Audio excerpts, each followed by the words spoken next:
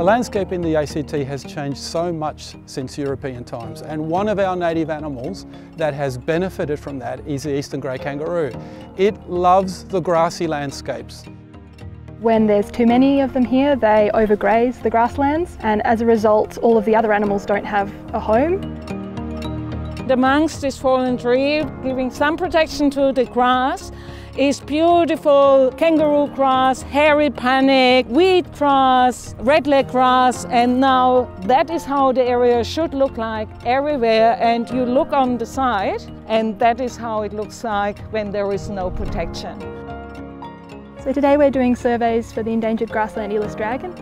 It's only found in natural temperate grasslands. You can see too So along with the grassland earless dragon, there's a number of other species that calls these grassland home and aren't really found anywhere else. So it's really important that we manage the grassland in a way that provides habitat for all of these different animals.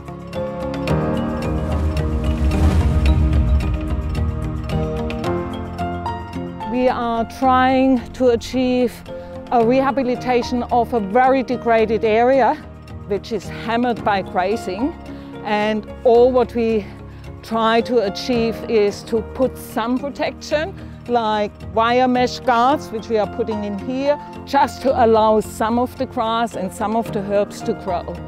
It's a really important job for a park agency to do to ensure that we protect and conserve our special places. And in the ACT, that means that we manage eastern grey kangaroos.